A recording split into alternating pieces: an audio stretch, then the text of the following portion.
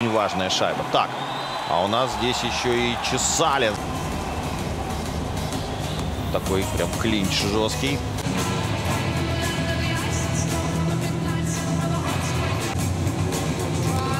Да, все-таки все началось вот с этой блокировки а